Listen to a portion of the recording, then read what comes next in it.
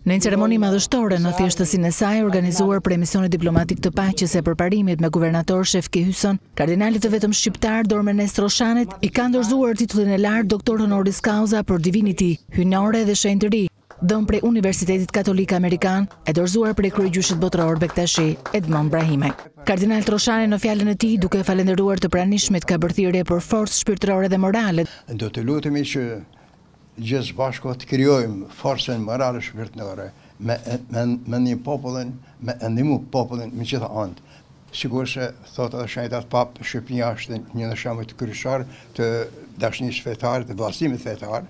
që të gjithë të bashkohemi t'adhurojmë të madhin Zot me lutje të përditshme e me pa zemrat e gëzueme e me pas shpresën e t'ringjalljes që feja e shenjtë ju jep të gjithë atyre se nuk ka vdekje për ata që duan Zotin, por ka ringjallje e lumni të pamatë për amshim. Vlerësimi si veprimtar i ndritur i njerëzimit, shoqëruar me medaljen e artë përkatëse nga Akademia dhe Universiteti i Paqes Botërore, u dorëzua prej ish-kryetarit të Parlamentit Namik Dokle dhe deputeti i Parlamentit të Kosovës Naser Rugova. Titulli Misionar i Paqes Globale, Ambasador Nderi dhe Komisioner i Lartë për Paqen Globale nga Misioni Diplomatik Paqe dhe Zhvillim dorëzuar prej zotit Skënder Doda, si dhe diploma e nderit nga Universiteti për Paqe Globale i Kombeve të Bashkuara, dorëzuar nga Makbule Çeço e Lumturi Vladi.